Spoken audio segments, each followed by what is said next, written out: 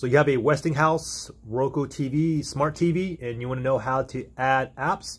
Very, very simple. So the first thing is just go ahead and click on the home button on your remote.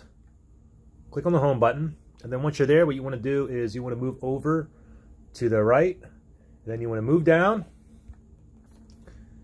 all the way down here where it says add channels. Click on the OK. And now from here, you can go down to different genres, recommended, cable alternatives. Uh, you can even go down here to games, apps, comedy, kids and lifestyle. But there's also a search option as well. If you want to just go ahead and search, you can go down to right here where it says search channels and go ahead and search. So just for uh, demonstration purposes, let's go ahead and just download an app. Uh, we'll go ahead and let's go to games and I'll go ahead and choose this basketball shots. I'll pick on the app that you want and click on OK. Then it says add channel right there. Just go ahead and OK that.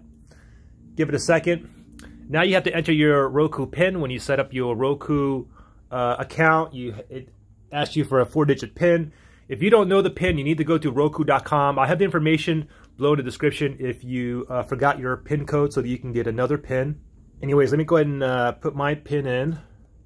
And once you put your PIN in, just go ahead and select uh, OK to add channel. Give that a second here. And then once we add it, it's going to be on the um, on the our home page. Uh, give us a little bit. It's downloading. 50% so far. Okay, so it says uh, channel added. I'm going to go ahead and click on OK. And now if I just go ahead and click on my home button on my remote, and then we can see my list of uh, apps here. Let me go. Let me go to home. Now you can see, you know, the default ones that came with it. And I downloaded these two apps as well. So pretty simple to do. And if you guys wanted to delete it, one thing you got to do is just go over, highlight the uh, the app, and then go to your remote and just click on the star button right here. Once you click on that star button, this option here will pop up and you can simply just go up here to remove channel. Okay, pretty simple. Good luck.